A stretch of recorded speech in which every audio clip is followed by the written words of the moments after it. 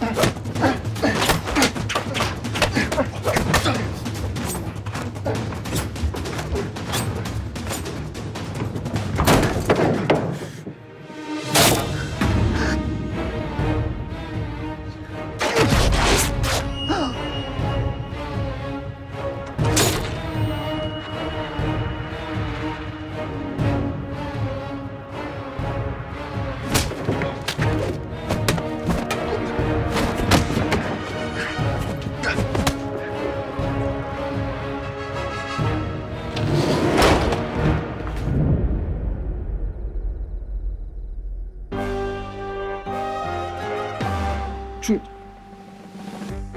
우리 불쌍한 왕놈의 새끼를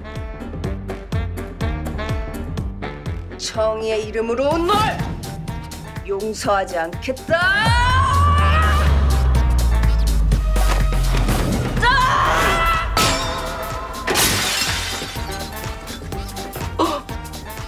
술 기운의 정확성이 떨어져서 그만. 야, 이장님, 야, 미안하다. 아,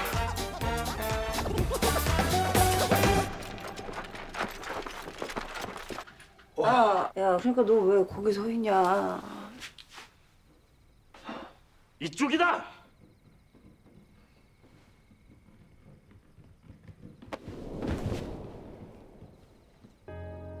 오늘은 너 다치하지 않겠소.